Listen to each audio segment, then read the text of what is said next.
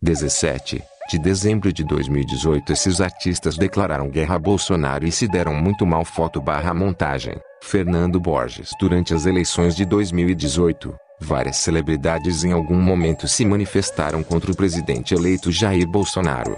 Muitos desses famosos, após manifestarem as suas razões políticas, deram-se mal.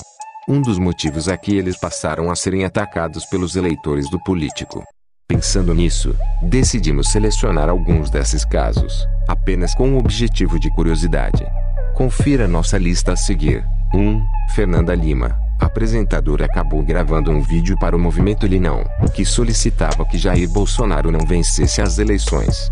Após o vídeo, a comunicadora da Rede Globo começou a sofrer ataques. O cantor Eduardo Costa, conhecido apoiador de Bolsonaro, chegou a gravar um vídeo detonando a famosa. Ele agora está sendo processo pela famosa.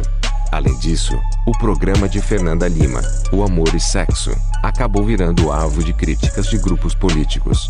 2. Kéfera. No segundo turno das eleições 2018, Kéfera publicou um vídeo chorando na internet. Nele, ela falava que havia brigado com um ente querido que votou em Bolsonaro.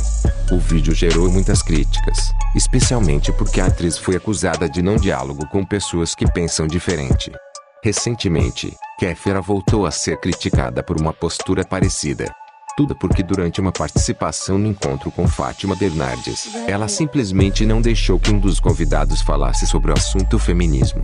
3. Marília Mendonça. Durante as eleições, Marília Mendonça se posicionou contra Bolsonaro, mas disse que foi ameaçada. Desde então, ela prefere não se posicionar sobre política nas redes sociais. Inscreva-se no canal para receber nossos vídeos. Deixe seu like, compartilhe com amigos, ative as notificações. Até a próxima.